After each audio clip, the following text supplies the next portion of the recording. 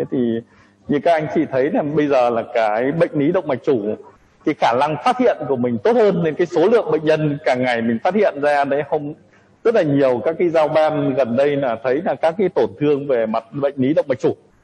Thế thì cái việc mình là bác sĩ điều trị thì cái đọc cái kết quả phim rất quan trọng. Ví dụ như trước kia mình có thể mình dựa vào bên chẩn đoán hình ảnh, người ta sẽ trả lời kết quả cho mình nhưng mà tất nhiên khi mà mình là bác sĩ lâm sàng thì cái việc mình phân tích kỹ cái hình ảnh MSCT rất là quan trọng. Bởi vì cái việc đánh giá được các tổn thương trên MSCT để mình quyết định cho bệnh nhân đó là có phải xử lý cấp cứu hay không. Đấy bởi vì nó liên quan đến tính mạng bệnh nhân có thể bằng phút bằng à, giờ. Đấy hoặc là việc câu hỏi trả, trả lời thứ hai nữa là cái tổn thương động mạch chủ đấy có phải điều trị hay không thế giờ ví dụ một cái ca mà người ta phình rất lớn cần phải ờ, xử trí mà mình lại bảo không vấn đề gì, mình điều trị nội khoa thôi thì này cũng không đúng. Hoặc là đối với một cái tổn thương nhỏ, mình có thể điều trị nội khoa được mà mình lại chuyển đi phẫu thuật hoặc đi can thiệp thì nó cũng không đúng. Thế nên giờ mình, bác sĩ thực hành thì mình cần phải đánh giá được cái kết quả của MSCT đó để mình là người sẽ chịu trách nhiệm trước bệnh nhân để mình đưa ra một cái quyết định đúng đắn nhất đối với bệnh nhân đó. Thế thì hôm nay bởi vì đây là với sự hướng dẫn của bộ môn là có trao đổi, mình sẽ hướng dẫn về cách đọc, thực hành. Thế thì thật ra là, đáng lẽ ra là các bạn nên có một cái máy tính và có các phần mềm thì lúc đấy mình trao đổi nó dễ hơn, bởi vì đây là một bài thực hành. Mình không muốn nói về lý thuyết nữa. Thế nhưng mà trước khi để đọc được tốt cái kết quả MSCT của động mạch chủ thì mình phải hiểu các cái bệnh lý động mạch chủ trước. Ví dụ mình phải hiểu phình bệnh động mạch chủ là cái gì, tách thành động mạch chủ là cái gì, chấn thương động mạch chủ nó là như thế nào để mình phải tìm các cái tổn thương đó ở trên. Nó giống như là một cái bệnh lý, ví dụ như là một cái khối u phổi chẳng hạn, thì mình cũng phải biết được là các cái tổn thương nó như thế nào. Thế tương tự, áp dụng vào MSCT đối với động mạch chủ thì cũng thế. Thì mình phải hiểu được khi nào định nghĩa thế nào gọi là phình động mạch chủ. Đấy, khi nào là có tổn thương vỡ hay không. Đấy, có thế nào gọi là lết thành động mạch chủ thế nào gọi là tách thành động mạch chủ, lúc nào thì người ta gọi là huyết khối trong thành động mạch chủ. Và khi những cái tổn thương giải phẫu bệnh đấy, mình hiểu được bản chất của nó, thì trên MSCT mình sẽ tìm các cái dấu hiệu đó để xem là cái tổn thương đó nó có nguy hiểm đối với bệnh nhân hay không. Thế thì sẽ đi từng phần một để trao đổi với các anh chị. Thế thì thứ nhất là đo thì CT mình đo như thế nào? Đo thì nguyên tắc để muốn đo được cái đường kính thì bao giờ thế mình phải cắt vuông góc với cái dòng chảy nó giống như một cái ống nước ấy. Mình cắt vuông góc thì mình sẽ đo nó chính xác. Thế còn nếu mình cắt chéo thì cái đường kính nó sẽ làm tăng lên. Thì cái việc mà mình đo ví dụ như là bệnh nhân đường kính có khoảng à, 4.5 thôi nhưng mà mình đo theo cái đường chéo thì đôi khi nó lại lên 5 hoặc 6.5 đôi khi cái việc đó thì mình quyết định nó không đúng. Thế thì bao giờ thế nguyên tắc đo nào mình sẽ đây là một cái phần mềm nó sẽ giúp cho mình định vị được. Và mình ví dụ như ở đây thấy là cái trục này mình sẽ vuông góc. Cái mặt cắt để vuông góc cái động mạch chủ thì mình sẽ ra một cái hình tròn ở cái bên đối diện đây. Đấy thì cái việc mình đo cái hình tròn này nó mới đúng. Chứ còn nếu mà mình cắt cái này nó bị chéo thì ra đây nó sẽ là một cái hình elip là nó ra cái đường kính của mình sẽ không chính xác. Cho nên tại sao mà trong lúc giao ban lúc thì bảo đường kính là 4.2 4.6 thường là mình sẽ sâu ra. Đây là cái thực tế để mình à, thể hiện được cái việc là mình đo đó là chính xác đấy thì các bạn thì có thể tải một số các phần mềm miễn phí như kiểu Osiris các thứ này hoặc là Horus để mình có thể cập nhật vào trong cái máy tính của mình mà các bạn có thể đo được. Bởi vì đa phần mình dùng các phần mềm thì mình mới cắt được theo các cái uh, tổn thương ba chiều. Thế thì uh, tiếp theo thì mình sẽ học mình hiểu thế nào là bệnh lý trước. Với cái thứ hai là cái thuật ngữ trong đọc một cái phim.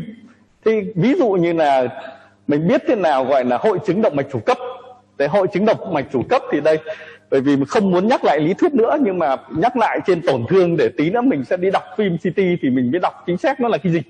Và mình cần phải có những cái thuật ngữ gì để mình mô tả đối với cái tổn thương đó.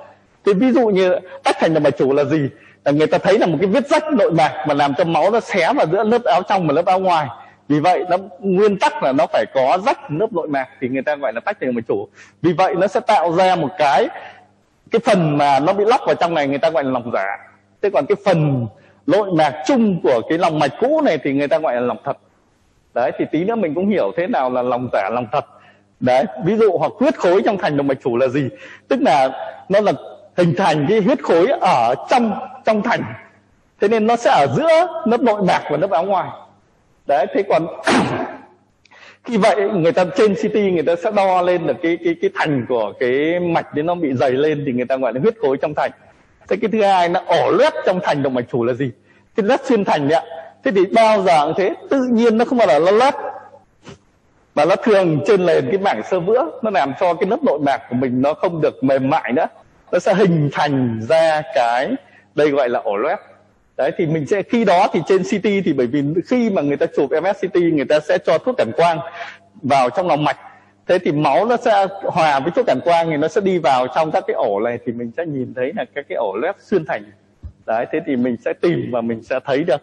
Thì thế nào là mình gọi là, mình phải hiểu các cái danh nghĩa trước, sau đó thì mình sẽ đọc trên cái tổn thương đó.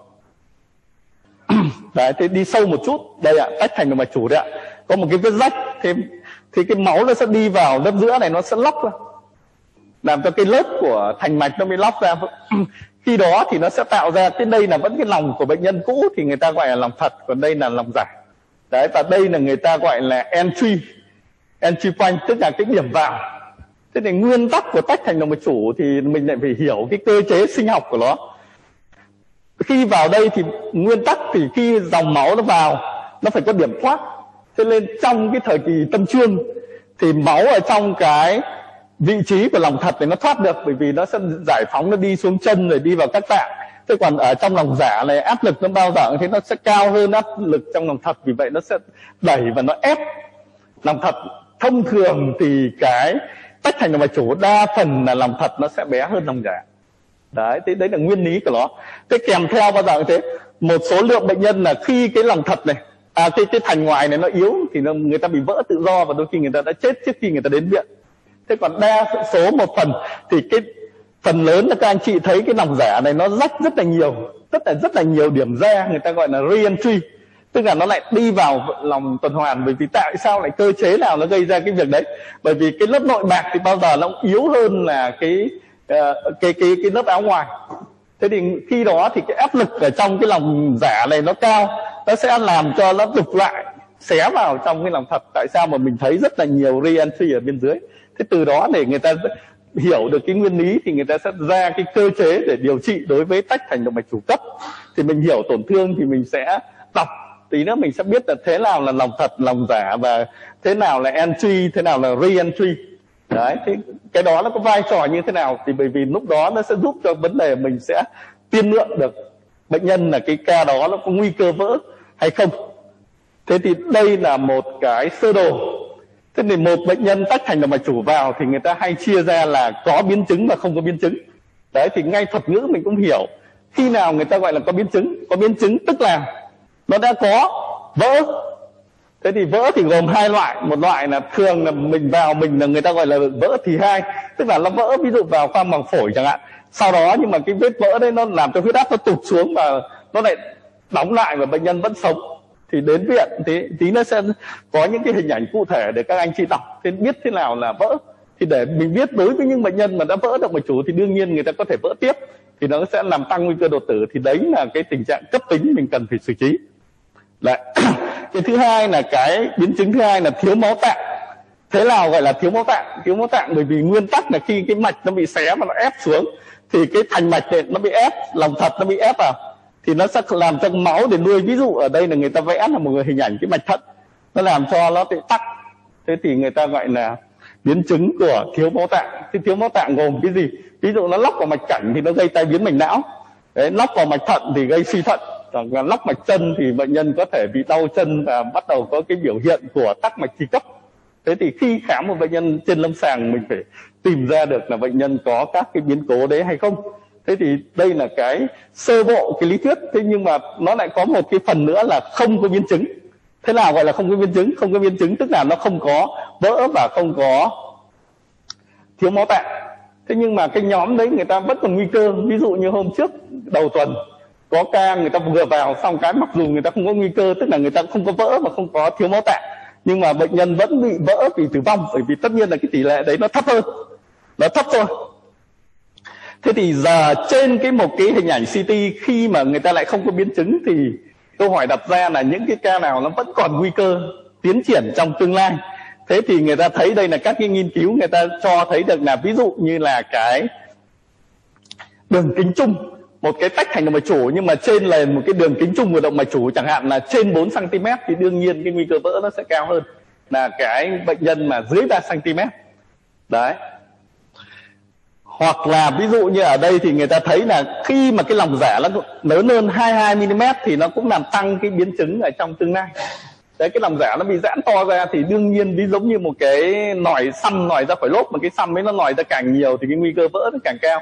Thế nên người ta tại sao người ta lại đưa ra một cái chỉ số là 22 mm đấy, thì mình cần phải hiểu được cái, những cái gì cần phải đo đạc để mình tiên lượng được cái động mạch chủ đó ví dụ như giờ ở đây người ta lại thấy được là cái vị trí vết rách vào. Ví dụ một cái chỗ nó xì, cái đường kính nó to, trên một à, trên 10 mm thì cái đường vào nó càng lớn thì cái nguy cơ, cái dòng máu nó tống vào cái lòng rẻ càng nhiều thì nguy cơ nó bị giãn lòng rẻ và nguy cơ vỡ nó càng cao. Vì vậy đấy là những cái đối tượng nguy cơ cao.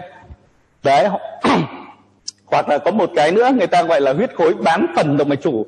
Thế mình hiểu thế nào là thiết huyết khối bán phần? Huyết khối. Ví dụ như đây là người ta so sánh ba cái bệnh nhân tắc thành động mạch chủ. Một ông ở phía trước này, tức là nó rách rất là nhiều đường vào thì đương nhiên nó nguy cơ cao hơn là cái có bị rách nhưng mà cái lòng giả này nó đã bị huyết khối rồi. Tức là cái áp lực ở trong đấy nó không lớn, nó lưu thông không lớn mà nó đã huyết khối rồi thì đương nhiên cái nguy cơ vỡ của thằng này là thấp nhất. Thế nhưng mà so sánh giữa hai cái thằng, một thằng này bị rách rất là nhiều, gọi là rách tả tơi ra. Đây có nhiều cái đường vào. Reentry thì nó lại có đường thoát ra nên cái áp lực ở trong lòng giả đôi khi nó lại cân bằng giữa lòng giả và lòng thật, nên nó không bị cao hơn lòng thật, nên nguy cơ vỡ của thằng này nó ít hơn cái thằng huyết khối bán phần này.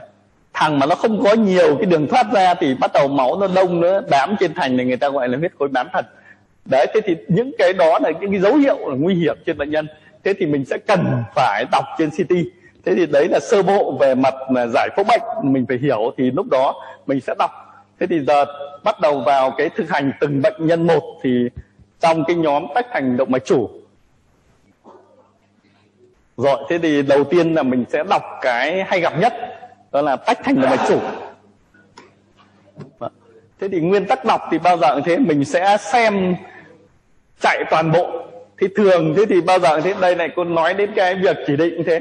Khi mà các anh chị viết chỉ định thì mình nên ghi là chụp MSCT động mạch chủ trọng tức là người ta sẽ cắt cho mình ở từ cái phần động mạch cảnh đi xuống. Thì, đây ạ thế, thì các anh chị có thể thấy là đang chạy đến cái phần là chụp MSCT ở cái phần ngực.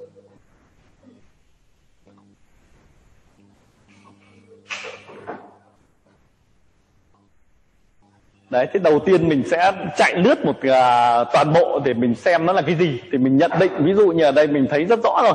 Đó là tách thành một chủ vì vì mình thấy là có lòng giả lòng thật. À,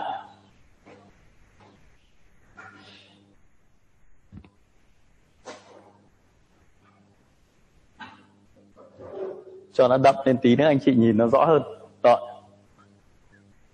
thế thì đấy, khi sau khi mình à, chạy lướt qua, mình sẽ thấy là bệnh nhân này bị tách thành động mạch chủ, sau đó thì mình sẽ lướt, mình sẽ đi lại. Thế thì mình, anh chị có thể thấy ạ, đây ạ, đây là cái vết rách nội mạc. Thế khi mình cứ nhìn thấy vết rách nội mạc mà có lòng giả lòng thật thì đương nhiên mình sẽ chuẩn đoán là tách thành động mạch chủ. Đấy thế tách thành động mạch chủ thì khi tách thành động mạch chủ câu hỏi đầu tiên đối với bác sĩ lâm sàng là nó là tách tiếp A hay tiếp B? Bởi vì mình phải đưa ra tại sao người ta phân loại? Bởi vì phân loại để đưa ra mình chiến lược điều trị. Thế tiếp A là cái gì? Tiếp A là nó sẽ tách về ở, ở phần động mạch chủ lên. Thế thì ví dụ như ca này mình thấy động mạch chủ lên tròn nhẵn không có tách đúng không?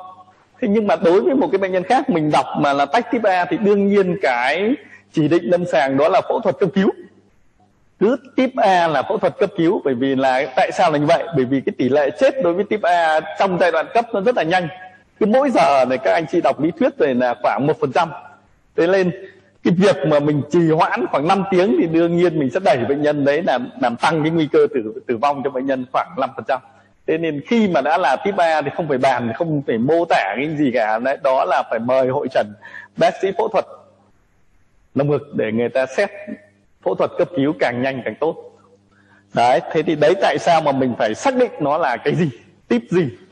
Thế ví dụ như ở đây mình thấy có vẻ nó là ở phần động mạch chủ xuống thì nó sẽ là tiếp B. Các anh chị có nhìn thấy ở đây không ạ? Thế thì trong giao ban thì giáo sư hùng cũng hay hỏi mọi người là thế nào là lòng giả, thế nào là lòng thật? Thế thì mình cũng cần phải biết một chút. Đấy, lòng giả là như thế nào? Lòng thật thì bao giờ thế. Khi mà mình chạy trên cái city này thế thì cái chỗ này nó là hoàn toàn bình thường, đây là động mạch chủ lên, đúng không thì mình quy định như vậy, khi mình chạy xuống thì mình sẽ thấy được là nó sẽ liên tiếp vào cái phần này. Thì mình sẽ dò theo nó để mình biết nó là đậu ờ, đấy là lòng thật hay lòng giả. Các anh chị thấy không khi mình đi theo, đây là cái con chỉ, mình chỉ vào cái vị trí đây gọi là lòng thật. Thế mình chạy xuống, nhìn thấy không thế thì mình thấy hai cái đặc điểm, nhìn thấy không như vừa nãy nói về phần lý thuyết ạ. Thì bao giờ thì đa phần cái lòng thật nó bị ép vào cái lòng giả nó sẽ to hơn đấy ạ. Và ở đây các anh chị có thể thấy đây nó gọi là huyết khối bán phần đấy ạ. Đấy, cái này nó hội tụ đầy đủ những cái để mình thấy được cái tổn thương trên CT của một cái bệnh nhân bị tách thành động mạch chủ đấy, thế thì vết rách nguyên ủy ở đâu? Đấy, thế thì mình chạy xuống, tí nữa mình sẽ tạo ra cái hình 3D để mình có thể tìm ra được cái vết rách nguyên ủy. Có vẻ nó ngang ngang ở cái vị trí này. Các anh chị có thể thấy không ạ? Đấy, thế chạy xuống. Đấy, đầu tiên là một cái chẩn đoán là cái gì ạ thế thì đối với cái này thì mình thấy lòng giả lòng thật, mình chẩn đoán rõ là tách thành động mạch chủ. Đấy, kèm theo nó ở phần động mạch chủ xuống nên mình chẩn đoán là tiếp B thế sau khi đưa chẩn đoán tách thành động mạch chủ xong thì mình có câu hỏi thứ trả lời, phải trả lời câu hỏi thứ hai là họ có biến chứng hay không có biến chứng? Đấy, có biến chứng thì là những gì? Thế thì khi đây các anh chị chạy thì ca hình hình ảnh ca này nó rất điển hình thứ nhất là đây là cái màng phổi à, phổi của bên à, phải thì thấy nó màu đen khí đấy ạ. Thì cái màng phổi này nó không có dịch nhưng mà bên trái này thì các anh chị có thể thấy đây là dịch đúng không ạ?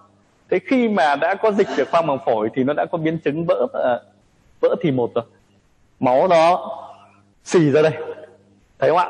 Thế thì đối với những cái ca này thì nó cần phải xử lý cấp cứu bởi vì đấy là trường hợp có biến chứng.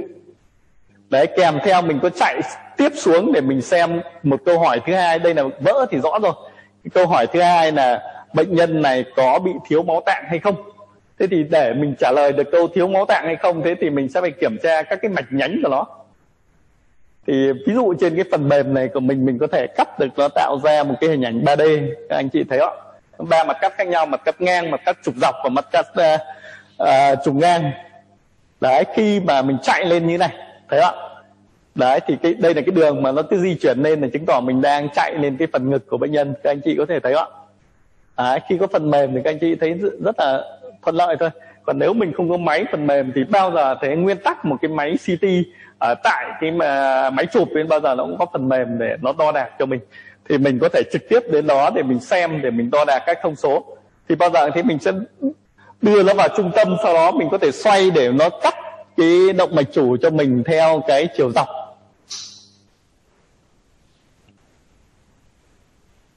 Đây ạ, thì các anh chị có thể thấy cái hình bên cạnh này một phóng to ra để có vẻ là hơi mờ các anh chị có nhìn rõ không ạ? Rồi. Đấy, thế thì nó, các anh chị có thể thấy là cái vết rách nó rất rõ đấy ạ. Đấy, thế thì giờ mình sẽ đo ở các cái vị trí đó. Ví dụ mình kiểm tra xem nó có bị lắp vào các cái mạch nhánh hay không. Thì ví dụ như ở đây là động mạch cảnh đây là động mạch cảnh trung bên trái còn đây động mạch dưới đòn đấy ạ. Đấy nó chỉ rách đến vị trí động, động mạch dưới đòn thì nó giúp cho mình chẩn đoán chắc chắn đây là tách tuyến B. Kèm theo là nó không rách vào các cái mạch để nuôi não và các cái mạch nuôi của cái động mạch dưới đòn. Đấy thế thì phần trên đấy xong thì mình sẽ chạy tiếp xuống. Các anh chị có thể thấy không? Đấy mình đang chạy xuống ở cái phần ổ bụng thì mình sẽ kiểm tra các cái mạch tạng. Thế thì bao giờ thế mình sẽ đưa cái à, cái vị trí của cái nát cắt ấy vào đúng trung tâm của lòng mạch và mình chạy xuống. Các anh chị có thể thấy không? Đây là lòng thật mình đang chạy xuống và đây lòng giả nó đã huyết khối một phần rồi. À. thế chạy tiếp xuống. Khi mình chạy tiếp xuống thì mình sẽ gặp là động mạch thân tạng đầu tiên thế thì các anh chị có thể tiếp cận ở cái vị trí này để mình thể hiện rõ được cái động mạch thân tạng ở trên các cái mạch, hình ảnh mặt cắt.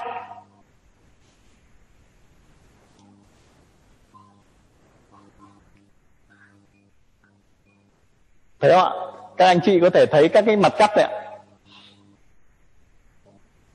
Thấy không thế thì đây nó vẫn cấp máu được từ vào lòng thật, nó không bị ảnh hưởng vào của cái động mạch thân tạng tiếp theo đối với động xuống dưới so với động mạch thân tạng tức là mình chạy xuống dưới thì mình sẽ vào được cái động mạch mạch treo tràng trên. Các anh chị có thể thấy không ạ? Đây là nguyên ủy của động mạch mạch treo tràng trên thế mình có thể hơi chỉnh một chút. Mình cắt ra cái thì đây ạ. Đây là cái mặt cắt dọc thì mình thấy được cắt dọc qua cái động mạch mạch treo tràng trên. Tức là nó chạy từ trên đi, đi xuống dưới và bắt đầu nó lắp à, nó chia ra các nhánh để nuôi à, hệ thống ruột non. Thấy không ạ? Thì cái này là nó không bị lóc vào mà không thiếu máu tạng của mạch treo chằng trên. Đối với tắc thành động mạch chủ thì cái quan tâm lớn nhất đối với bác sĩ can thiệp thì người ta sẽ xem ngay được là cái mạch treo chằng trên này. Nếu mà cái này tắc mà nó gây hoại tử ruột thì đương nhiên mình phải mổ để điều trị cái hoại tử ruột trước khi xảy ra sự cố. Bởi vì nếu mà nó đã hoại tử ruột rồi thì việc mình can thiệp nó sẽ không còn hiệu quả nữa. Bệnh nhân sẽ chết rất nhanh chỉ sẽ trong ngày đầu là bệnh nhân đã bị nhiễm độc uh, tử vong. Đây ạ, thế thì mình chạy xuống thì mình thấy là cái động mạch thận bên phải, các anh chị có nhìn thấy không? Đấy, nó tách từ lòng thật. Đấy, và nó được cấp máu rất là tốt. Thế ạ thế mà đương nhiên nữa là mình nhìn cái cái tỷ trọng của cái tưới máu thì của cái mạch thận của ở bên phải này nó sáng hơn so với thận bên trái. Thế thì mình sẽ kiểm tra xuống dưới nữa thì mình thấy là cái mạch của nuôi của động mạch thận. Anh chị có thể thấy không? Đấy động mạch thận của bên ờ, trái nó xuất phát từ lòng già cho nên cái việc mà nó tưới máu cho cái thận này nó rất là ít thấy không ạ? Đấy thế thì ca này mình sẽ chẩn đoán là mình tiếp tục mình sẽ chạy xuống xem nó có lắp vào cái động mạch chậu hay không. Thì ca này cũng lắp cả vào động mạch chậu các anh chị có nhìn thấy không? Đấy nên nó sẽ gây thiếu máu đối với của cái chân bên trái. Còn bên phải thì nó vẫn lóc à, vẫn đi ra từ lòng thật nên nó vẫn được tưới máu tốt thế thì ca này mình sẽ được chẩn đoán là tách thành động mạch chủ tiếp B và đã có biến chứng tức là vỡ vào khoang màng phổi và thiếu máu tạng là thiếu máu thận trái. Vì vậy những ca này mình sẽ có cái chỉ định là mình sẽ phải xử lý cấp cứu có thể là phẫu thuật hoặc là can thiệp mà à, à ten để điều trị cho bệnh nhân. Anh chị có trao đổi một chút về cái tách thành đồng chủ anh không ạ? Bởi vì nó khá hay gặp. Rồi gì ạ à, ừ, thì một trong ví dụ có thiếu máu tạng hoặc là có vỡ thì đấy là những cái biểu hiện của biến chứng. Tức là ca này là nó gồm cả hai. Chứ có một trong hai cái đó là là người ta có cái chỉ định điều trị tức là đặt tên quá. Rồi. Rồi anh chị khác. Rồi.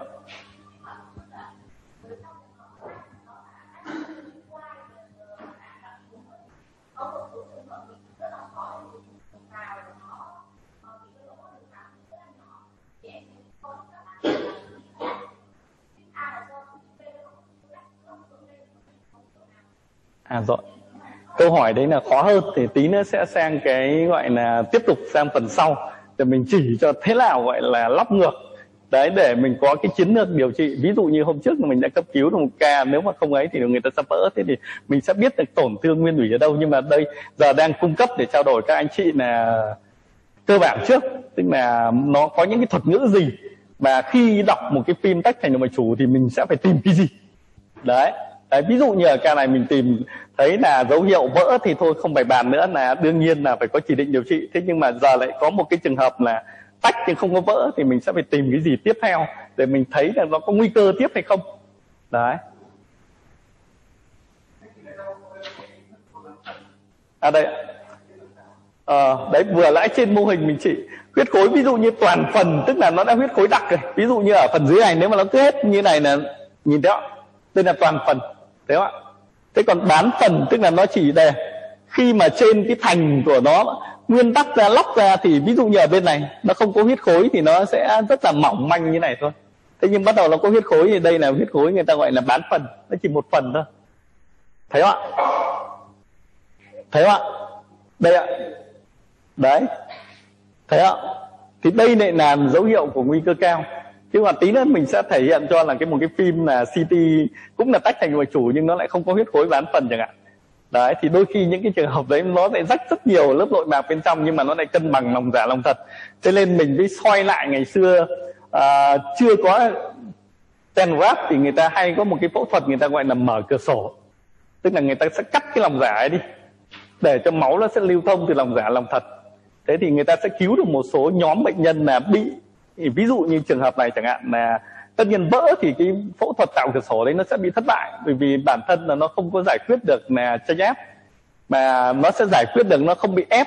Thì ví dụ như trường hợp này mà không có vỡ thì trước kia người ta có thể phẫu thuật là mở cửa sổ người ta cắt cái nốt nội mạc để cho máu lòng giả lòng thật nó thông nhau thì nó sẽ thông thương vào cái thận của bên này.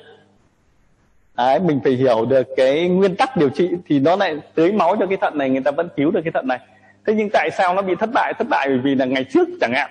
Khi người ta phẫu thuật người ta không phân tích được trên cái hình ảnh MSCT tất cả những cái bệnh nhân tách thành mạch chủ người ta đều đem ra người ta mổ người ta cắt nội mạc đấy thì cái hiệu quả nó sẽ không phải là đầy đủ. Ví dụ những cái ca mà người ta đã rách rồi thì cái việc mình có mổ thêm mình phẫu thuật cắt mở cửa sổ nó không có ý nghĩa nữa. Đấy nếu mà nó không có cái đường thoát thì người, người ta mở cửa sổ đấy thì người ta nó mới có ý nghĩa. Ờ, các bạn có hiểu cái chỗ nguyên tắc điều trị đấy không ạ? Nó thông thương được ra làm cho cái lòng giả với lòng thật hai áp lực hai bên nó bằng nhau thì nó sẽ giải áp nó không bị ép nữa. Một cái thằng nó áp lực nó cao hơn nó sẽ đẩy ép cái cái cái lòng mạch vào trong cái thành đấy. Bây giờ người ta mở cửa sổ nó thông rồi thì nó sẽ làm cho cái áp lực nó giảm đi. Thì nó không bị ép nữa thì nó lại tưới máu lại cho cái mạch thận đấy. Thì người ta gọi là kỹ thuật ờ, penetration tức là người ta mở cửa sổ có thể bằng uh, can thiệp, tức là người ta chọc qua cái vách đấy người ta long bóng nó lên, hoặc là người ta mổ ra, người ta cắt một cái vòng tròn mở cửa sổ ở thế thì mình phải hiểu được cái nguyên lý là như vậy. Bởi vì hôm nay nó là trong cái khuôn khổ đọc CT nên mình muốn là tập trung vào để các anh chị thấy là, đấy, mình hiểu được ý thứ hai, mình biết được các thuật ngữ. Thế nào là biến chứng, thế nào là huyết khối bám thành, đấy, thế nào thì là huyết khối bán phần.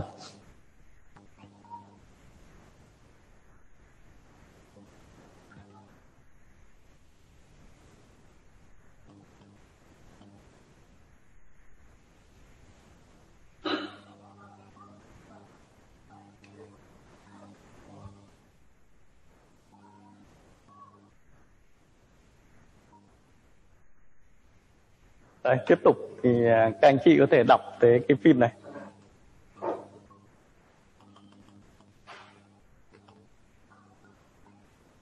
Cái hệ thống máy chiếu nó có vẻ hơi tồi.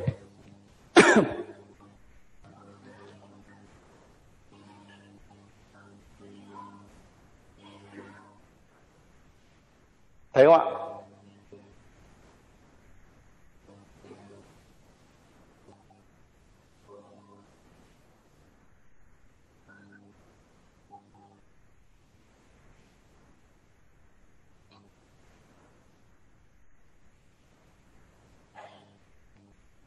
Đấy, ví dụ như ở đây các anh chị có thể thấy nó xé ra cả lòng giả thần lòng thật là nó bắt đầu vào cái động mạch của thân tạng ấy, thế không ạ? Đấy.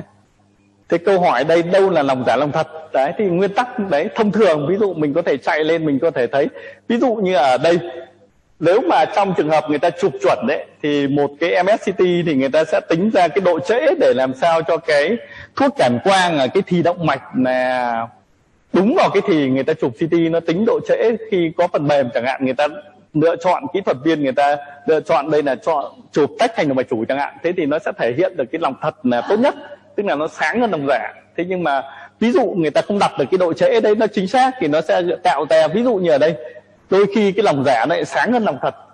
Đây là nó là thì mình có thể thấy được người ta chụp nó hơi muộn rồi tức là lòng thật nó đã bắt đầu là thải cảm quang rồi, nhưng mà lòng giả chưa thải được lên. Cái sáng của lòng dạ giả nó tốt hơn lòng thật. Thế thì đây ạ, các anh chị có thể thấy thế nào là phân biệt lòng giả lòng thật? Đây ạ, lòng thật nó đi từ cái động mạch chủ lên, mình đi xuống thì mình thấy nó đi vào đây. Thấy không ạ?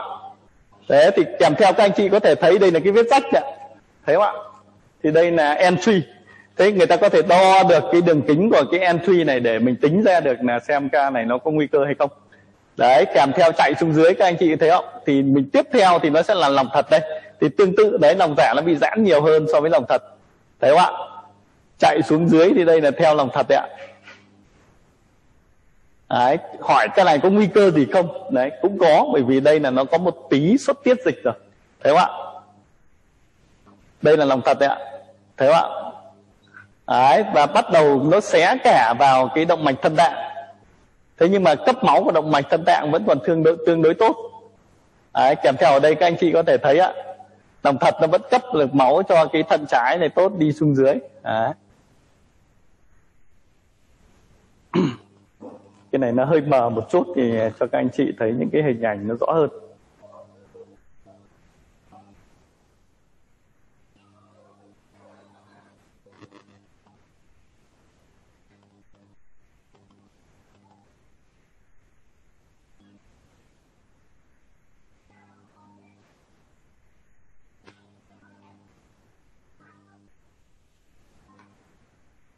Đây là một cái ca lâm sàng rất là hay. Tức là người ta đang tự nhiên người ta bị vô liệu. Người ta vào khoa thận tiết niệu và sau đó người ta chạy thận. Thế thì khi sau một thời gian thì người ta lại siêu âm, người ta phát hiện ra lại không thấy túi máu mạch thận và người ta phát hiện ra tách thành động mạch chủ. Yeah. thế thì mình sẽ phân tích trên cái phim CT này nó có cái gì?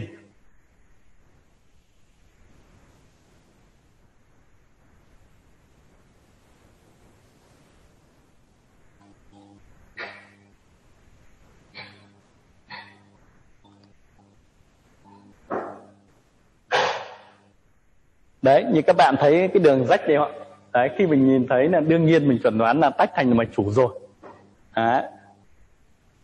Thấy không ạ? Thế thì đâu là lòng thật, đâu là lòng giả. Đấy, thì đấy, mình đọc mình sẽ chạy xuống, nó tương xứng, nó rất dễ. Đây là sẽ là lòng thật, đúng không thế mình sẽ chạy theo, khi mình dùng máy tính thì mình sẽ chạy theo con trỏ đấy. Với cái thứ hai, nó lại thỏa mãn được cái, nếu mà mình thấy nó bất thường thì mình lại phải trách lại. Thỏa mãn được cái là lòng giả to hơn lòng thật. Đấy thì mình sẽ chạy xuống dưới này. Anh chị có thể thấy không ạ? Thế tại sao mà ca này nó bị ép rất nhiều? Bởi vì các anh chị thấy không? Chạy suốt trên cái này mình thấy không thấy vết rách ngang. Chứ nó bị thông thương, nó bị nhiều reentry thì đôi khi là cái lòng thật nó không bị ép nhiều lắm. Thế thì đây là cái nguyên tắc để mình hiểu được cái bản chất để mình tìm. Thấy không đây lòng thật ạ.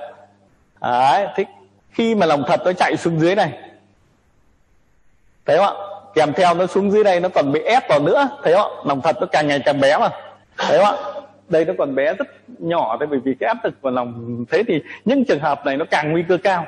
Bởi vì chứng tỏ là lòng giả nó áp lực nó rất cao hơn so với lòng thật thì cái nguy cơ vỡ nó càng lớn. À thế không ạ? Đây nó ép vào đến nỗi mà hai cái mạch thận nó gần như là nó không được tưới máu. Các anh chị có nhìn thấy không ca này biểu hiện lâm sàng là một cái suy thận cấp bởi vì hoàn toàn ở đây có thuốc cản quang đây nhưng mà thận nó không bị sáng nó không có tưới máu nhỉ? À, thấy không ạ? Đây cái lòng thật nó còn rất là bé. Đấy, xuống dưới này rất là bé. Thấy không ạ? Nó bé đến mức mà trong lúc can thiệp bọn mình không thể đi được từ dưới lên. Bởi vì nó nó quá bị ép mình không thể đi được. Mình phải đi từ trên đi xuống để dùng cái slare để mình bắt. Đấy, thế thì câu hỏi đối với bác sĩ khi mình đọc MSCT ca này là trả lời là tách thành là mạch chủ rõ rồi. Cái câu hỏi thứ hai là có biến chứng hay không? Đấy biến chứng thì thứ nhất là đầu tiên mình phải xem nó có biến chứng vỡ hay không, bởi vì vỡ là nó nguy hiểm hơn so với là biến chứng thiếu máu tạng. Thế thì, đây ạ, các anh chị có thể thấy đây, nó đã tụ máu, đây là người ta có một thuật ngữ người ta gọi là tụ máu quanh thành động mạch chủ. Đấy, khi tụ máu quanh thành động mạch chủ, xong nó mới thấm và nó đi cả sang bên phải. Các anh chị thấy không? Chứ còn nguyên tắc là cái động mạch chủ nó lại ở bên trái so với cột sống thì đương nhiên đa số nếu mà vỡ tự do không thì nó chủ yếu nó gây tràn máu bên trái chứ nó không gây tràn máu bên phải. Nhưng ca này tại sao nó lại tràn máu bên phải? Đấy bởi vì nó tụ máu cả ra cái phần à, trung thất. Thì lúc đấy nó sẽ thấm máu đi theo sang cả bên phải. Thế nên người ta có một thuật ngữ đây gọi là tụ máu quanh thành động mạch chủ. Đấy, thì khi có dấu hiệu đấy thì chứng tỏ nó đã vỡ thì một rồi. Do giống như tí nữa mình sẽ thể hiện cho một cái ca là vỡ của thành động mạch chủ bụng chẳng hạn. À, phình động mạch chủ bụng thì nó vỡ vào sau phúc mạc thì nó sẽ ra tụ máu ở đấy. Chứ nếu mà nó vỡ tự do vào ổ bụng thì chắc chắn là người ta đã chết rồi, không thể là đến viện kịp. Thấy không ạ? Đấy, kèm theo là rất là rõ rồi, ở cái chỗ là hai cái mạch thận này là nó bị tịt rồi, bởi vì nó bị ép. Hầu như là không nhìn thấy ở cái vị trí xuất phát này đâu, thì nó đã có vừa cái biến chứng là vỡ. Thì một và kèm theo là có thiếu máu tạng, đó là thiếu máu hai cái thận và gây suy thận cấp. Sao ạ? À đây ạ.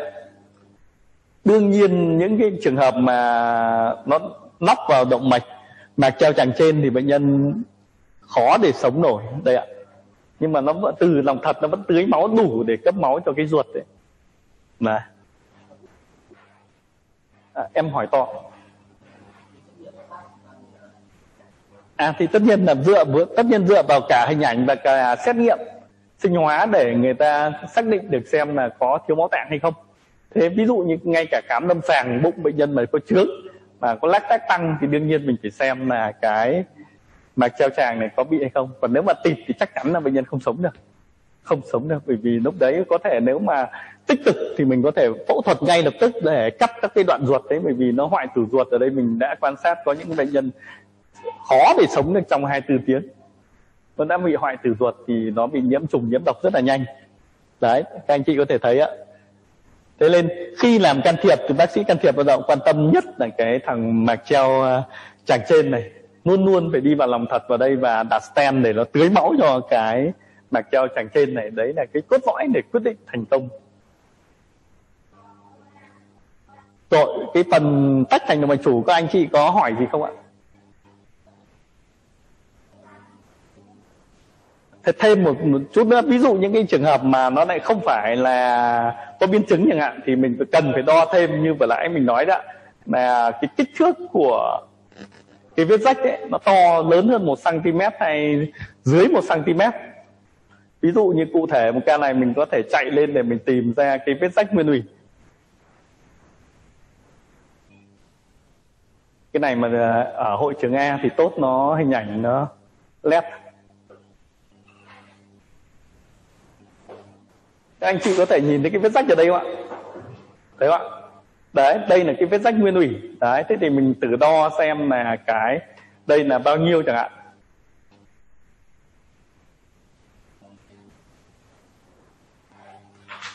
Đấy cái việc đo đạc thì nó đơn giản thế ạ. Chẳng hạn ở đây chỉ là 8,2 mm thôi. Đấy thế thì mình biết là mình đo với cái thứ hai nữa giờ mình sẽ phải đo một cái nữa người ta gọi là cái kích cỡ của cái lòng giả. Thế thì nguyên tắc bao giờ như thế, mình sẽ phải đo theo cái chiều vuông góc với dòng máu. Ví dụ ở đây mình cắt như này thì nó vẫn chưa phải là vuông góc thì mình sẽ phải hiệu chỉnh. Các anh chị có thể thấy mình hiệu chỉnh nữa đấy, để nó cắt ngang được qua cái vị trí này. Đấy, cắt vuông góc.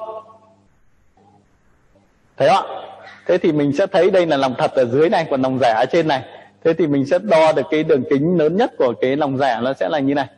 Ví dụ như ở đây thông số này nó sẽ là 2,7 cm thế ví dụ như ca này mà nó không có vỡ mà cũng không có thiếu máu tạng thì mình vẫn có chỉ định can thiệp bởi vì là cái đường kính của lòng giả nó lớn hơn uh, uh, 22 mm đấy là các cái thông số khi mình uh, đo một cái mình đánh giá một cái MSCT mình phải trả lời. Thế gồm thứ nhất là mình sẽ xác định nó là cái thể tổn thương gì tiếp A hay tiếp B? Đấy, câu hỏi thứ hai là trả lời là có biến chứng hay không có biến chứng. Và câu hỏi thứ ba là trong trường hợp không có biến chứng thì nó có phải thuộc, vậy là tiếp nguy cơ cao hay không? Để mình quyết định là điều trị lỗi khoa hay là mình sẽ phải xử lý can thiệp. Rồi, phần tách thành cho mạch chủ của anh chị nào trao đổi không ạ?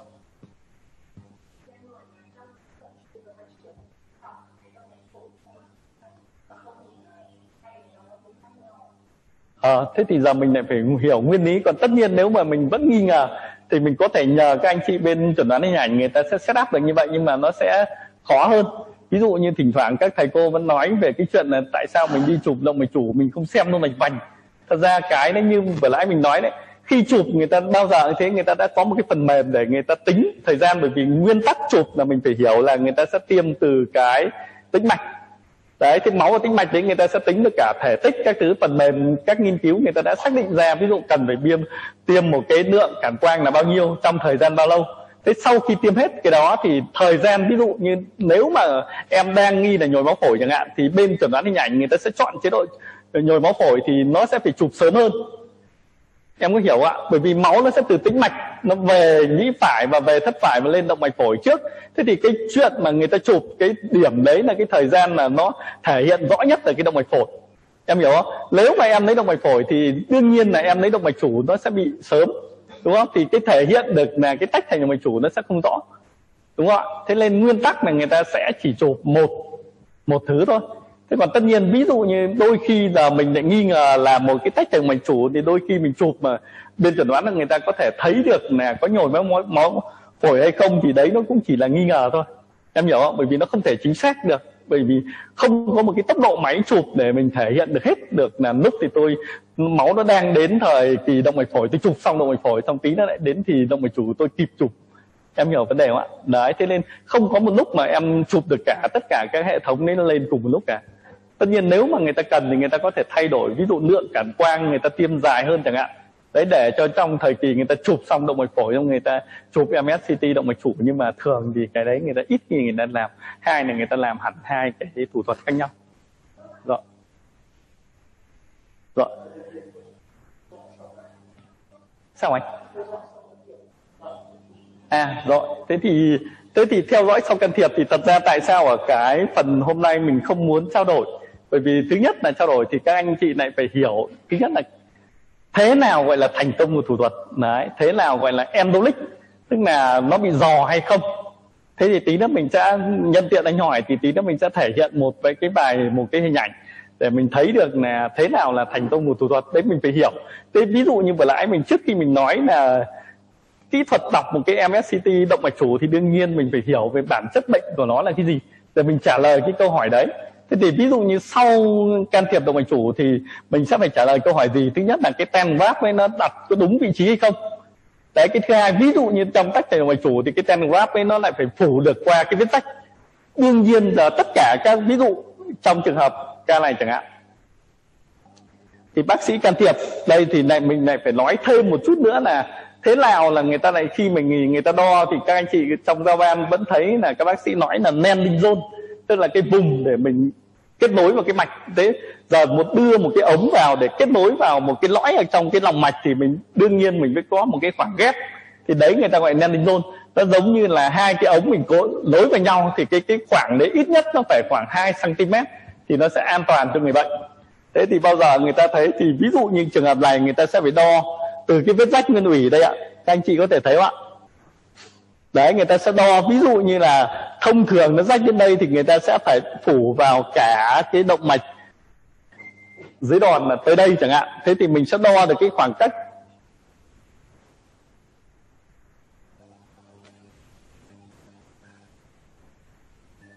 Chẳng hạn ví dụ như là một ở đây là 1,3 chẳng hạn không đủ. Thế thì người ta phải kéo dài tên mình phải phủ đặt đến tận phía dưới này. Các anh chị có hiểu cái chỗ này không ạ? Bởi vì nếu mà nối hai cái kia ngắn quá thì nó hay bị phè ra xung quanh. Thế thì trong chuyên môn người ta có một cái ờ, từ người ta gọi là endolic. Thế endolic là gì? Mình đặt vào đấy nhưng mà máu nó vẫn đi theo cái nhà đi theo cái thành bên nó đi ra. Thì cái việc thủ thuật đấy của mình là thất bại. Mọi người có hiểu không ạ? Đấy thế thì ví dụ như ca này nếu mà sau can thiệp thì bác sĩ à, chụp lại ờ, MSCT phải đánh giá như nào? Ví dụ như tôi đã có kế hoạch đặt stent đến vị trí này phủ qua của cái động mạch à, cả động mạch cảnh và động mạch dưới đòn, thì lúc đấy ten nó phải phủ từ vị trí này. Và kèm theo nó có một cái rất là quan trọng, đó là khi mà cái mục tiêu của cái đặt ten grab là nó phải phủ để cho máu nó không chảy vào cái vết rách này nữa. Thế thì máu nó phải không chảy vào cái vết rách này. Nếu mà nó vẫn còn dò từ cái khe này, ví dụ như mình đặt một cái ten nó nhỏ hơn chẳng hạn, hoặc là lại to quá nó lại bị phâu, tức là nó bị lết cấp thì nó vẫn có máu nó vẫn vẫn dò qua cái khe của hai cái ten wrap với cái thành mạch thì máu nó vẫn chảy theo cái khe này đi vào đây. Thì đương nhiên cái thủ thuật đấy của mình là thất bại. Đấy, thì tất nhiên là trong lúc can thiệp thì các bác sĩ can thiệp người ta cần phải chụp để người ta confirm được cái điều đấy. Chứ còn nếu mà người ta vẫn còn cái dòng chảy, dòng dò còn người ta gọi là endolic tiếp 1 thì bệnh nhân đấy sẽ bị rất dễ bị vỡ. Bởi vì nó sẽ không, nó chỉ có đường vào, nó không có đường thoát. Thì đôi khi nặng thèm mình không làm, bệnh nhân chưa chắc đã chết ngay mà làm mà mình bị endolic tiếp 1 thì bệnh nhân lại chết sớm hơn. Đấy, thế thì mình lúc can thiệp thế còn trong cái lúc sau khi chụp lại thì lúc ấy người ta sẽ cần đánh giá xem là ví dụ ten graph vào đây nó lở được cái lòng thật này ra nhiều hay không. Đấy cái thứ hai là cái cái lòng giả này nó có huyết khối được hay không? Bởi vì nó máu nó không có dòng chảy thì bắt đầu nó huyết khối. Thì đấy thì mục tiêu của chụp MSCT lại sau thủ thuật là mình sẽ đánh giá xem cái à, kỹ thuật đấy mình có thành công hay không? Và nó còn nguy cơ gì trên bệnh nhân đó hay không? Rồi các anh chị có hỏi gì tiếp không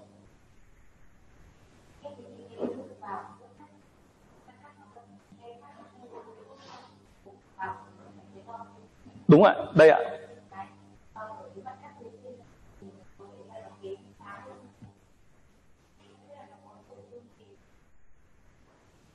À, anh chưa hiểu em em hỏi về cái gì? Ừ.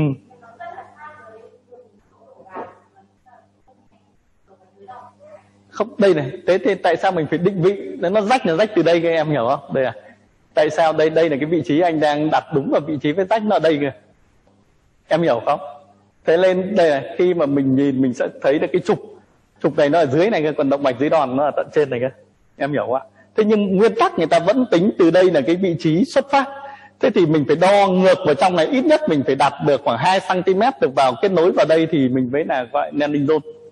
Em hiểu không? Ví dụ ca này đương nhiên là phải mổ cầu lối cảnh cảnh và mình sẽ đặt ten wrap từ cái vị trí này mình đi vào thế nên những cái sâu hơn về mặt kỹ thuật can thiệp tại mình không nói ở đây, bởi vì trong thời gian ngắn thì mình muốn cung cấp cho việc đọc thế nào là một cái phim chẩn đoán hình ảnh để mình xác định được động mạch chủ. Và khi mình đọc thì mình cần phải đưa ra những cái thông số gì?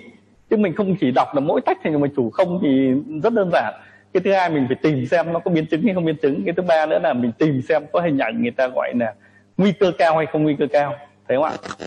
Đấy, còn ví dụ tiếp theo là nó lại có một cái bài về mặt cái sharing chẳng hạn thì mình đa số mình sẽ trao đổi cùng với bác sĩ chuyên về can thiệp động mạch chủ thế nào thế nào là landing zone thế nào là đủ.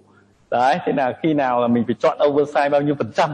Đấy thì lúc đấy nó, nó còn rất là dài nếu mà nói như vậy thì có thể hết hai ba ngày vẫn chưa hết được cái cái trao đổi này. Bởi vì hôm nay là mình mục tiêu của mình là một cái bài thực hành để thế nào nó đọc. Đấy mình phải tìm cái dấu hiệu gì. Đó tiếp tục các anh chị ok tôi nhắc thế thì mình sẽ chuyển sang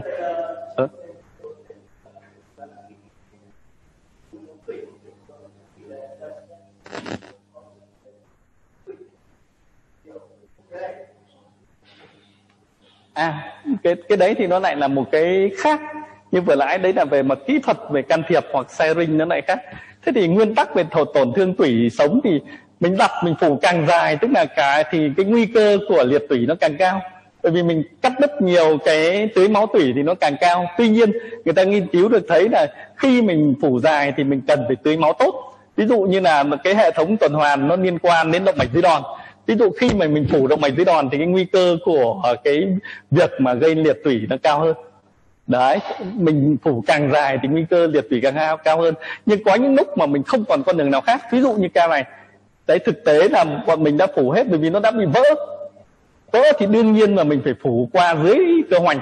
Bởi vì nó vỡ vào khoang màng phổi rồi thì đương nhiên cái phần ở trên đấy nó là tổn thương. Bởi vì giờ đầu tiên là bệnh nhân phải sống trước. Thế xong cái thứ hai nữa là mình sẽ phải tính toán để làm sao cái kỹ thuật của mình để làm sao bệnh nhân này không bị liệt tủy. Thế tại sao? Ví dụ như ca này mình sẽ mổ cầu lối bypass chẳng hạn. Thấy không ạ? Thì mình sẽ vẫn cấp máu được từ cảnh à, trong của bên phải sang bên trái và dưới đòn trái chứ mình ca này nếu mà mình phủ dài, mình không bao giờ mình để cho cái việc mà mình lại không tái tưới máu của động mạch dưới đòn. Thì đấy là kỹ thuật của khi mà bác sĩ can thiệp, người ta tính toán để nhằm đem lại cái lợi ích và giảm cái biến chứng ít nhất cho bệnh nhân. Thì cái đấy thì hơi phức tạp hơn một chút. Đấy, người ta phải tính toán thì đòi hỏi cái kinh nghiệm mà theo dõi rất là nhiều năm thì người ta lựa chọn tại sao mỗi cái trung tâm mà cái nguy cơ và các cái tai biến nó sẽ khác nhau. Đấy. Thế thì mình phải cần phải hiểu nguyên lý rồi thì mình sẽ đưa ra như cái cái đó rồi các anh chị.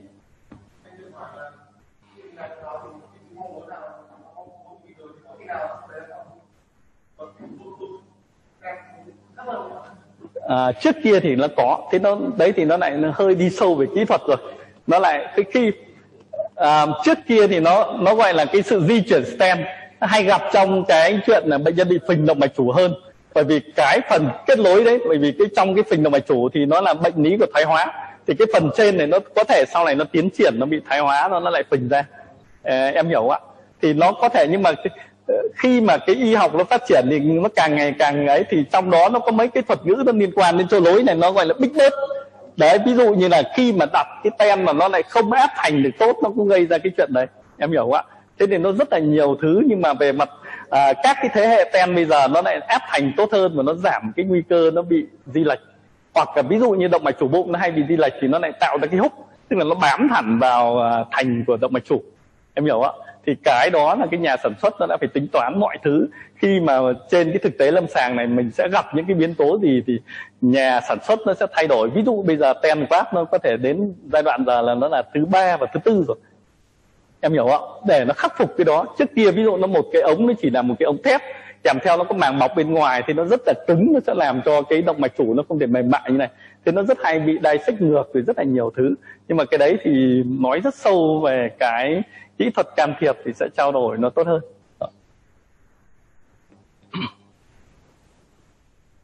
Ok. Còn bạn nào hỏi gì tiếp ạ? Thôi nhỉ bởi vì nó vẫn còn nhiều phần lắm. Giờ lại đến một chút nữa là lại huyết khối trong thành động mạch chủ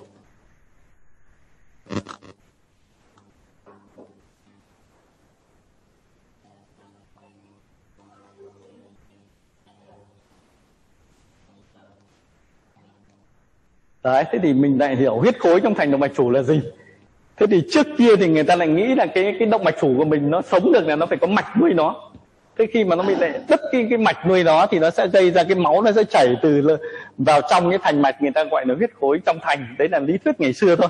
Còn bây giờ người ta thấy là đa phần là bị các cái ổ loét cái sơ vữa đấy ạ.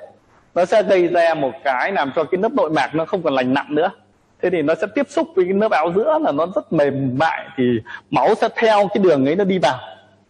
Thì nó gây ra gọi là huyết khối trong thành.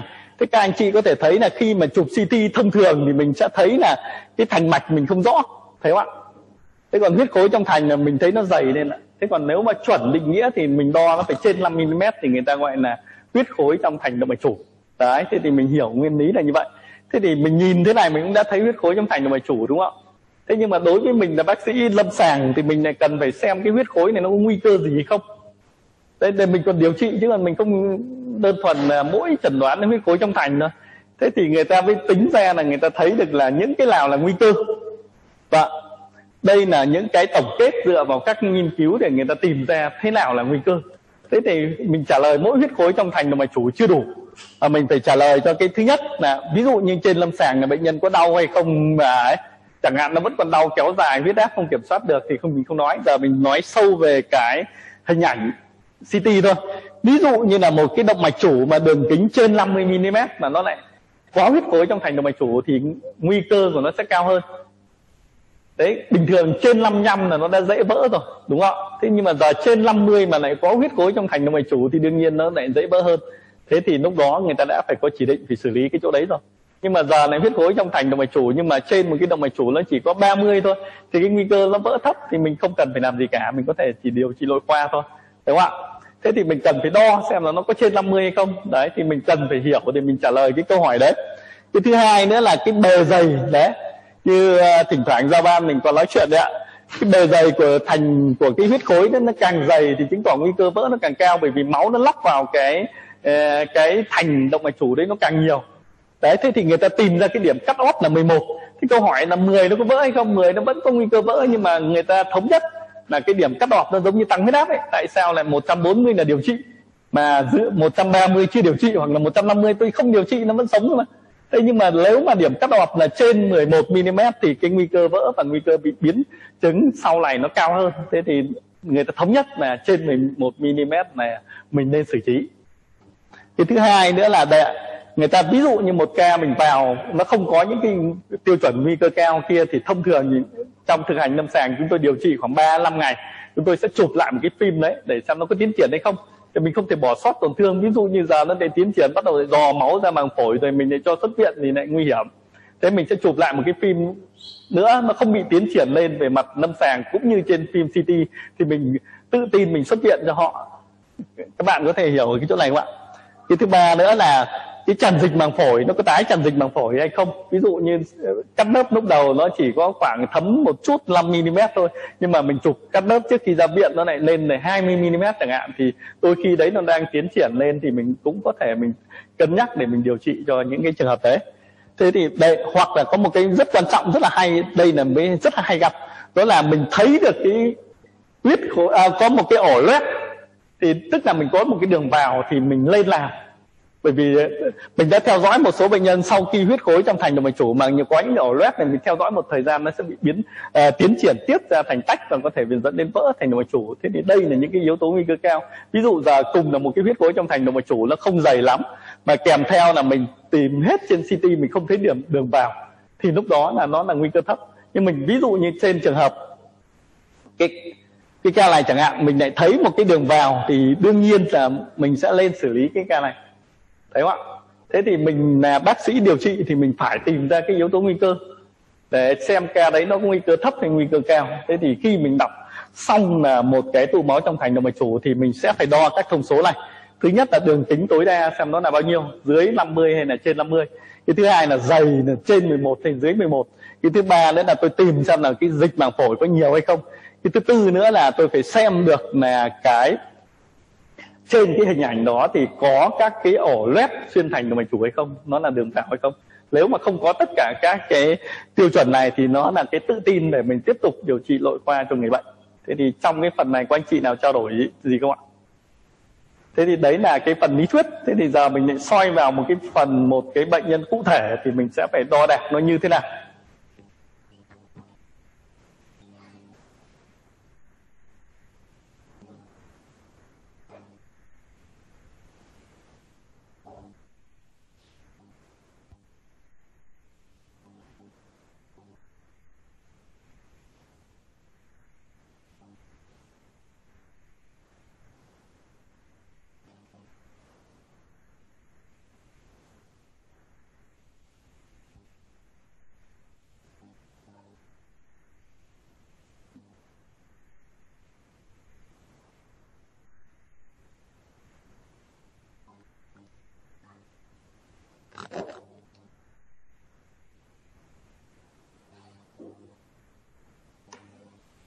Đấy, thì trên cái hình chạy này các anh chị có thể thấy không ạ? Đây đang chạy từ trên xuống dưới. Đấy, các anh chị có thể nhìn thấy đây là có huyết khối trong thành không ạ? Thấy không ạ?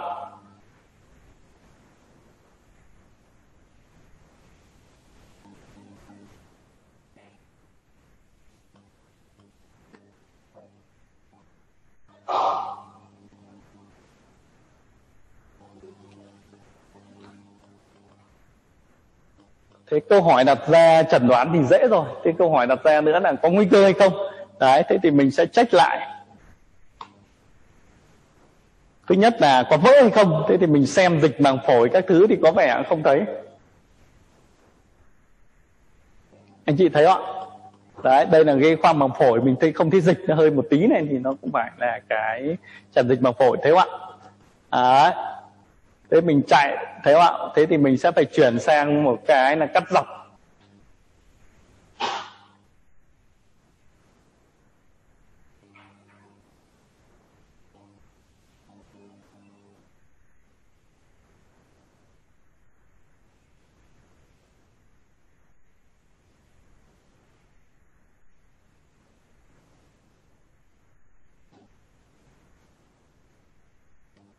Đấy, thế thì các anh chị có thể thấy cái này, thấy không ạ?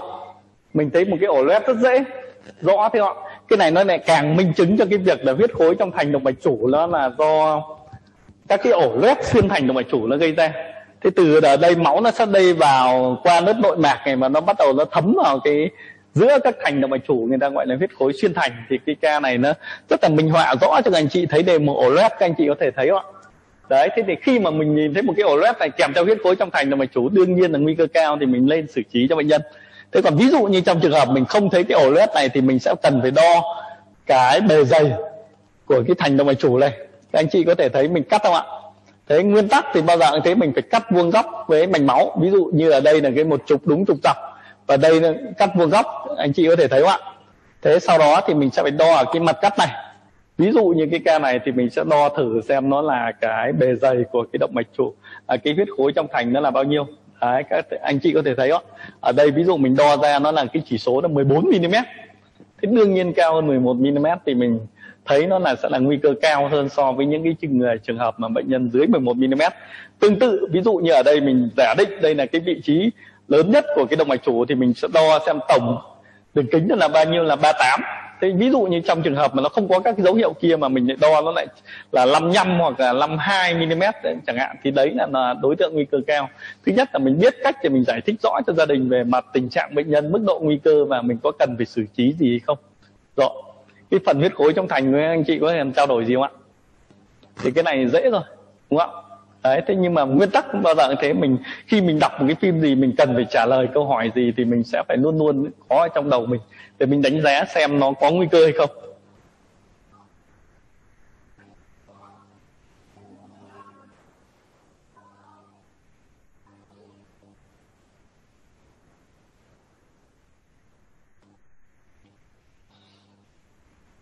Tiếp theo đối với cái hội chứng động mạch chủ cấp là các cái ổ loét xuyên thành. Các anh chị có thể thấy đây là cái hình ảnh minh minh họa uh, bên cạnh nó rất là rõ thôi ạ. Thấy không ạ? Đấy, thế thì ví dụ như cái này thì nó nguy cơ gì? Ví dụ giờ nó đã thấm máu ra màng phổi thì đương nhiên mình cần phải xử trí. Đấy, cái thứ hai nữa người ta có thể tất nhiên là một số nghiên cứu người ta thấy là ví dụ như cái đường kính nó cũng là thế nhưng mà giờ nó trên 15 mm chẳng hạn thì nó sẽ nguy cơ cao hơn tất nhiên ở đấy nó vẫn còn rất là nhiều tranh cãi, bởi vì đấy là những cái nghiên cứu nhỏ mà nó tạo ra cái cắt off như vậy. Bởi vì 10 mm nó vẫn có thể vỡ. Thế tất nhiên là 20 mm nó nguy cơ vỡ cao hơn. Thế thì người ta dựa vào rất là nhiều yếu tố để người ta quyết định cho bệnh nhân đối với loét xuyên thành động mạch chủ mình có cần phải xử trí không.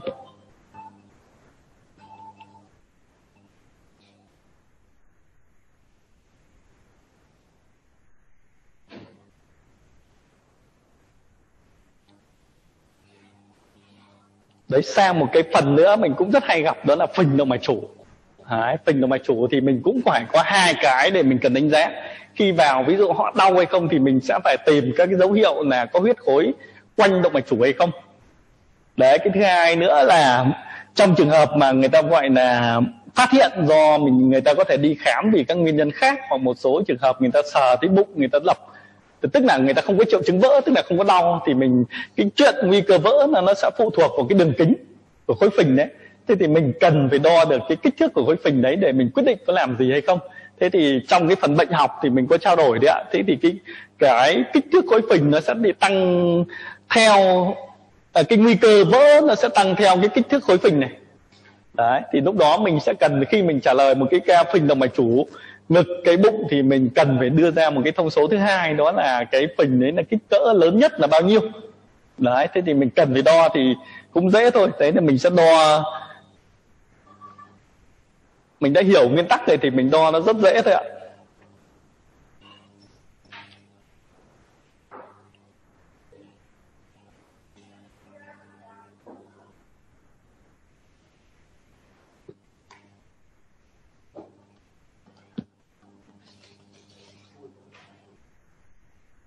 Và ví dụ tiếp theo, các anh chị có thể thấy không ạ? Mình sẽ chạy dần xuống, nhìn thấy đây là một cái ờ, động mạch chủ.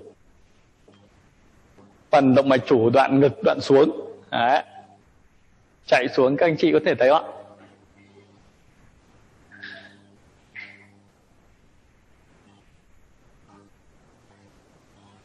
Thấy không ạ?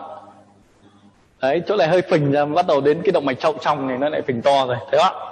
Thế thì nguyên tắc mình sẽ phải đo xem là kích cỡ của các cái khối phình đấy để mình ước lượng xem là bệnh nhân có nguy cơ vỡ hay không để mình quyết định là mình có điều trị hay không. Thế ví dụ ở đây mình sẽ sơ bộ mình đo để các anh chị có thể thấy được là cái cách mình đo. Ở dạng thế mình sẽ vào cái 3D để mình cắt nó ra. Các anh chị nhìn thấy không thế cho to ra một chút. Đấy, thì mình sẽ chạy xuống ví dụ giờ mình cần đo cái phình động mạch chủ bụng mình sẽ đưa đến cái phần động mạch chủ bụng. Đấy, ca này nó khá ngoằn ngoèo. Thế mình sẽ chạy các hướng để mình xem xem cái kích cỡ như nào thấy không? Cái động mạch chủ bụng thì không lớn lắm nhưng mà đối với ca ca này thì mình có thể thấy là cái động mạch chậu trong nó rất là to. Cái, à, cái động mạch chậu chung anh chị có nhìn thấy không? Thế thì mình sẽ đo xem kích cỡ nó như thế nào. Đấy. thế nguyên tắc thì bao giờ mình cũng thế, mình phải dựng ra một cái trục để mình cắt cái đấy nó vuông góc.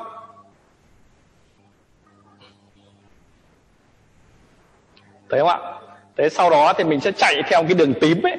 Anh chị nhìn nữa đấy, mình sơ bộ xem cái phần nào nó lớn nhất thì mình có thể đo. Ví dụ như ở đây mình thấy là sau khi mình chạy đi, mình chạy lại thì mình thấy là cái phần của cái chỗ này là có thể là to nhất. Thế sau đó mình đo thôi ạ thì nguyên tắc thì đo đối với các cái phình động mạch chủ thì người ta hay dùng cái nguyên tắc gọi là outer đến outer, tức là từ phần ngoài. Chứ mình không đo mỗi cái phần trong này. Thế nên đôi khi mà bên chuẩn đoán hình ảnh người ta sẽ đo cái mỗi cái lõi trong này chẳng hạn, thì cái đấy nó không phải là cái yếu tố tiên lượng cho cái nguy cơ vỡ. Tiên lượng nguy cơ vỡ đó là đo bề ngoài. Đấy, ví dụ như ca này mình đo trên này là 7.3 cm thì đương nhiên là mình sẽ phải xử trí mặc dù ca này nó không có triệu chứng, bởi vì người ta tính ra tại sao mà lại không có triệu chứng mình vẫn làm, bởi vì người ta tính ra là, ví dụ ở Mỹ là 75% bệnh nhân là vào khi mà có triệu chứng thì nó đã vỡ. Đấy, chỉ có 25% đến viện là trong cái thời điểm là mình phát hiện. Thế nên cái việc mà đối với các nước phát triển thì người ta sàng lọc bằng siêu âm để người ta phát hiện và theo dõi sớm cái phình động mạch chủ này rất là quan trọng. Chứ còn ở Việt Nam mình thì một số bệnh nhân là đến là vì vỡ rồi hoặc là đôi khi vỡ mà không đến kịp viện. Này thế thì đây là một cái kỹ thuật đo còn tất nhiên có một cái sâu hơn nữa chẳng hạn để bác sĩ can thiệp người ta sẽ phải đo thế nào là landing zone có dài có đủ hay không. Đấy rồi là mình sẽ đặt đến đâu và đường kính à, chọn stand đến đâu thì tất nhiên đấy nó là khá sâu hơn rồi. Thế nên ở đây là mình sẽ cung cấp để trao đổi các anh chị là khi nào mình đo để mình phát hiện ra với cái thứ hai nữa, có một cái nữa là mình, ví dụ như một số trường hợp đặc biệt mình có thể tìm được cái nguy, bệnh nhân đã vỡ hay không để mình xác định là cần phải xử lý cấp cứu hay không.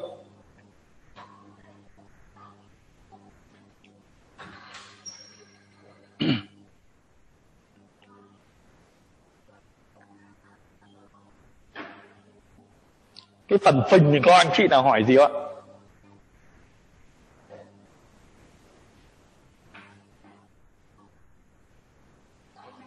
Ok.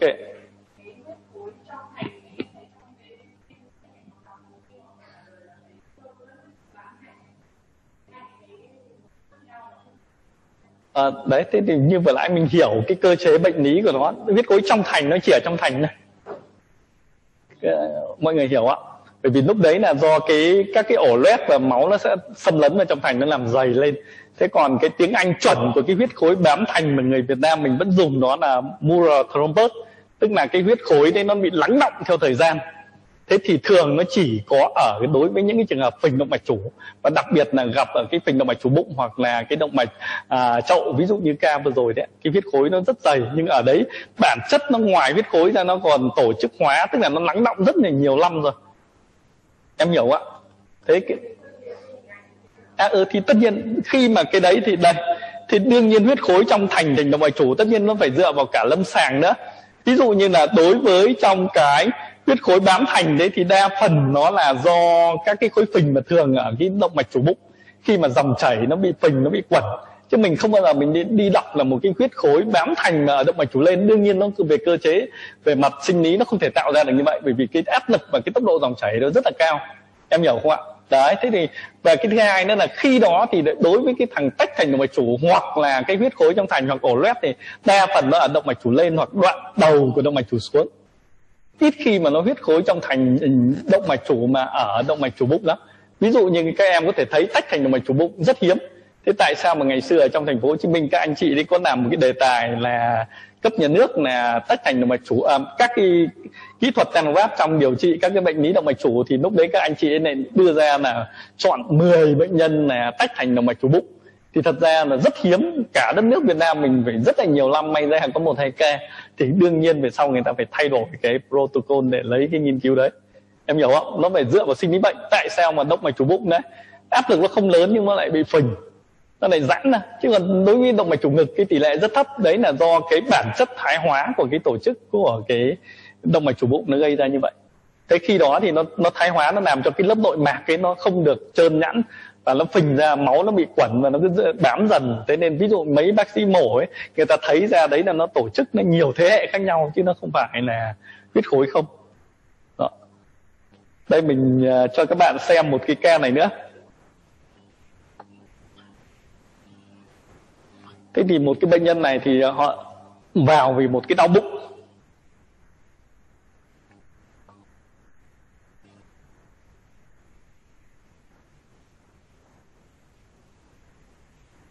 Đấy, cái phần trên này thì khá trơn nhẵn, các anh chị thấy không ạ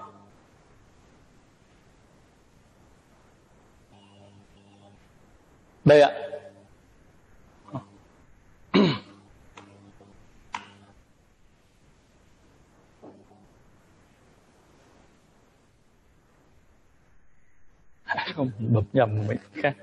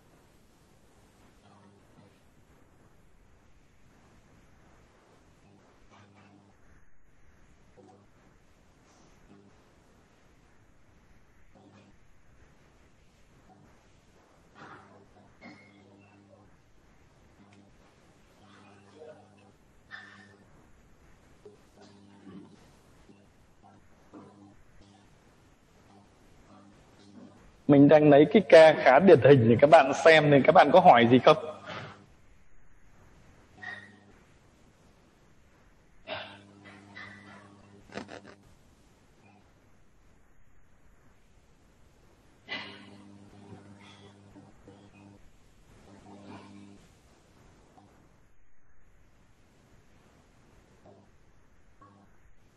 Đấy, ví dụ như ca này chẳng hạn, các anh chị có thể thấy không đấy đây là ở thuật ngữ là mình là huyết khối bám thành đấy, đấy thường nó sẽ ở động mạch chủ bụng. Đấy mà nó khi đó bị nó phình rất rất lớn và bắt đầu nó bị thoái hóa tổ chức hóa và nó gây ra các cái tổ chức là bám đấy ạ. Đấy thế nhưng mà trong trường hợp nó lại rất là hay là đối với những trường hợp người ta bị phình như này giờ họ vào thì câu hỏi đặt ra ca này nó có bị nguy cơ vỡ hay không? Đấy, sâu hơn này nó rất là khó. Ví dụ như ca này các anh chị có thể thấy nếu mà bệnh nhân có đau bụng bởi vì là một bệnh nhân phình động mạch chủ bụng người ta có thể đau bụng do rất là nhiều nguyên nhân khác nhau. Cái câu hỏi đặt ra là đối với mình vào thì giờ chẳng hạn một ca phình động mạch chủ bụng mình nghĩ đến là có phải đau do dọa vỡ hay không? Cái ví dụ giờ họ lại đau viêm ruột thừa hay đau do một cái khác nó vẫn có, có một cái nhóm bệnh nhân là phình động mạch chủ trước người ta không biết mà. Giờ ví dụ mình đo kích thước là 5.0 thôi thì câu hỏi đặt ra là mình phải tìm nguyên nhân khác hay là do cái gì? Bởi vì đôi khi đau nó cũng không điển hình. Đúng không ạ? Bởi vì các anh chị thấy là một số các em vào dọa vỡ nhưng người ta có đau nhiều đâu.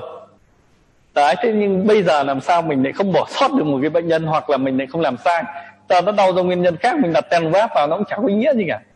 Đấy, người ta đã chưa có chỉ định điều trị. Đúng không ạ?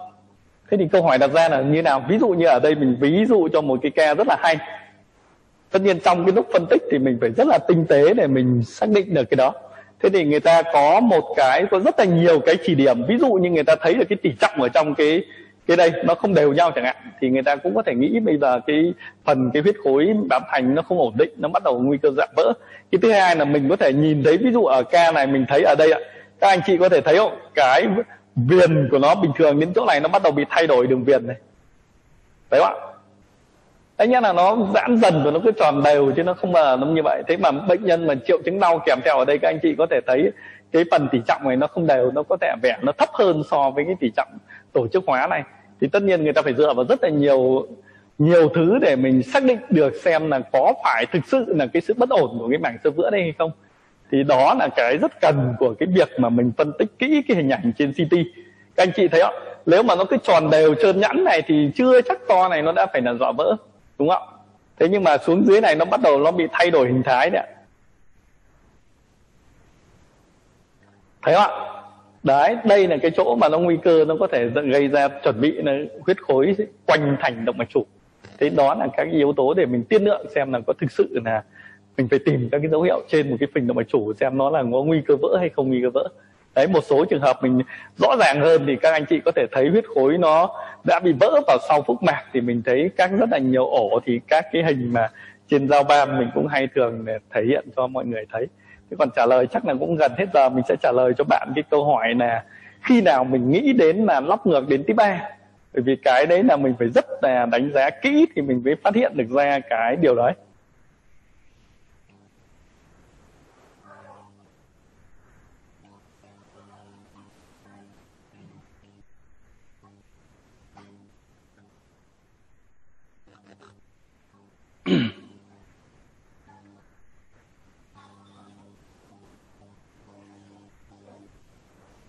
Đấy, cái này là điển hình để cho trả lời cái câu hỏi của bạn. Đấy ví dụ như thứ nhất là chẩn đoán là gì? Thì đương nhiên cái này là huyết khối trong thành động mạch chủ thì rõ rồi. Thế không nhưng mà nó là tiếp A. Bởi vì các bạn có thể nhìn thấy không? Đây là cái động mạch chủ lên đấy ạ. Thì cái chỗ này nó dày hẳn lên đấy ạ. Nhìn thấy không các bạn có thấy không ạ? Đấy, thế thì bình thường nếu mà nó không bị huyết khối nan lên đây thì người ta sẽ không thấy như này. Thế thì câu hỏi đặt ra tại sao ca này nguyên tắc chuẩn là huyết khối tip A hoặc là ổ loét tip A là đương nhiên là phải phẫu thuật? Đấy, các bạn có thể đọc guideline này như vậy, thấy không ạ? Thế nhưng đấy là trong trường hợp mà nó bị huyết khối nó nguyên ủy, tức là các cái ổ loét ở cái vị trí động mạch chủ lên. Bởi vì nguyên tắc là mình phải phẫu thuật ví dụ như tách tiếp A, người ta sẽ biến tiếp A thành tiếp D ổn định, tức là người ta chỉ thay cái vết tách thế thôi. Thay mỗi cái đoạn động mạch chủ lên nhưng người ta không phải thay toàn bộ cái động mạch chủ. Thấy không ạ? Hoặc là huyết khối trong thành hoặc cái ổ loét ở vị trí của cái động mạch chủ, hoặc là ví dụ như cái ca hôm trước mổ mà nó xì ở đâu thì người ta phải mổ nối ở chỗ đấy. Thấy không ạ? Thế thì ở đây là tách tiếp A nhưng mà mình lại phân tích kỹ hơn một chút. Thì mình nhìn thấy là một cái đường vào rất là rõ ở đây. Các anh chị có nhìn thấy không thấy không ạ? Đây là một cái chỗ xì vào của cái chỗ ổ loét xuyên thành động mạch chủ đây ạ. Các anh chị có thấy thấy không ạ? Thấy không ạ? Thì đây nó là đoạn động mạch chủ xuống. Thấy không ạ?